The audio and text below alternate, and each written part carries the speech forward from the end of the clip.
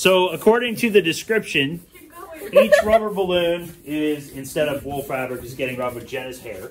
Um, when we do that, Jenna's hair is losing electrons, the rubber is gaining them. So what charge should the balloons have now?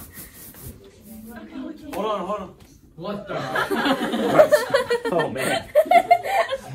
Well, I guess you're stuck here.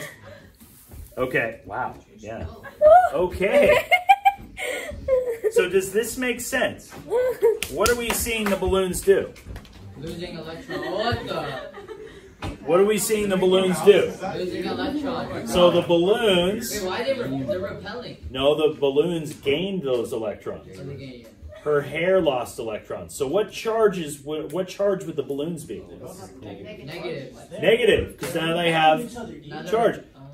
Should they be repelling? Yeah, Why?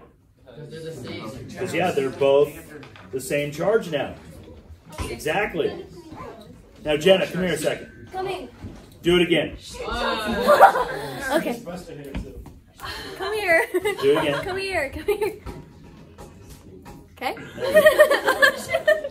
Okay, so charge. Yeah, let's let's do a little more charge. Okay, so so go ahead and back away. Back away. Okay, there you go. Okay, now I want you to put your hand out. No, like this. And I want you to slowly move towards the balloon. No, no, slowly. Okay, slow. Wait, slow down. Oh, there it goes. Oh! Yeah, Zippity zap, eh? there we go. Yeah, you heard a little bit of static discharge, right? So Jenna got really, really positive, Jenna. Right? Because Jenna's hair was giving away electrons. Those electrons were going into the balloon. So now Jenna and the balloons have opposite charges. So would it make sense that the balloon jumps towards Jenna? Yes. Why? Well, because different charges. Right, there's different charges. Okay, because Jenna's.